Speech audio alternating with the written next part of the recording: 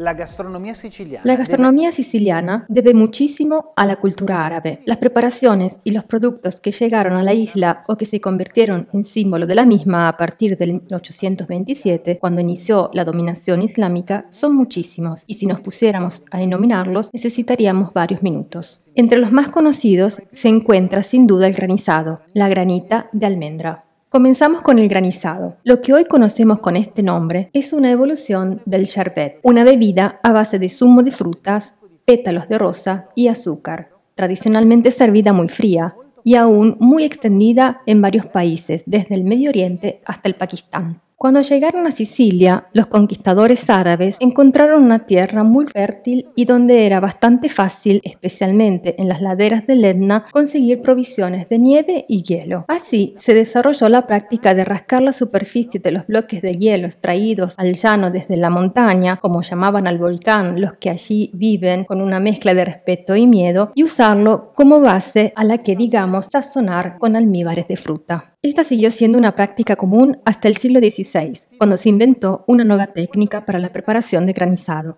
que se basó en un descubrimiento sorprendente. Si se mezclan hielo o nieve con sal, un producto que en Sicilia hay en abundancia, la temperatura de esta mezcla desciende, pudiendo llegar a ser muy inferior a los 0 grados, que es la temperatura del hielo en pureza. Este es el principio que usamos en invierno cuando se esparce sal en las calles.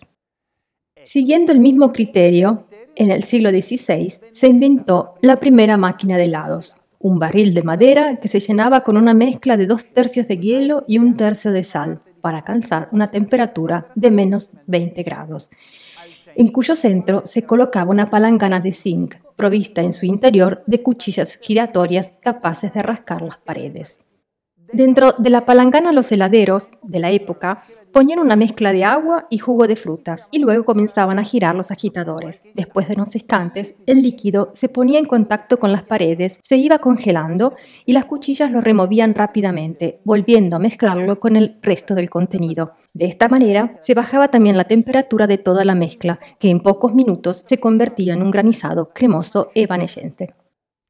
Y si nos encontramos en Sicilia, especialmente en la hermosa ciudad de Noto, la capital del barroco siciliano, el granizado tiene que ser a base de almendras, servida al desayuno junto con la clásica brioche col tupo. Los almendros habían llegado a Sicilia con los fenicios alrededor del siglo XII a.C., pero sin embargo fueron los árabes quienes captaron todo el potencial de esta fruta y empezaron a trabajarla, en particular con la clara de huevo y la miel, dando vida a una gran cantidad de dulces con la que cuenta la repostería siciliana.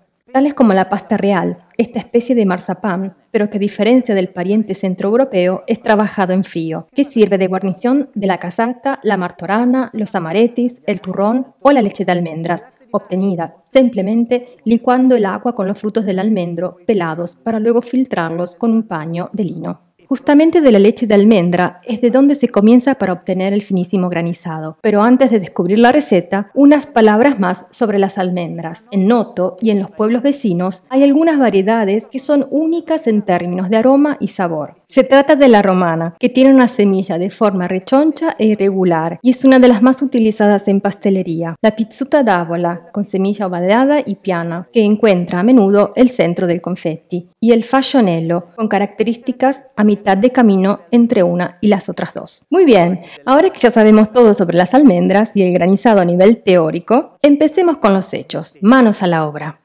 Comencemos licuando con un mixer 125 gramos de almendras peladas, 50 gramos de azúcar granulada y medio litro de agua. Cuando la mezcla se vuelva completamente homogénea, pasar a la máquina de helados, tomar una palangana donde poner 767 gramos de hielo y 233 gramos de sal y mezclarlos. Tomar un bol más pequeño que colocaremos dentro del hielo y donde se pone la leche de almendras. Comenzar a mezclar con un batidor raspando continuamente las paredes. Aproximadamente en 10 minutos el granizado estará listo. Aproximadamente en 10 minutos el granizado estará listo.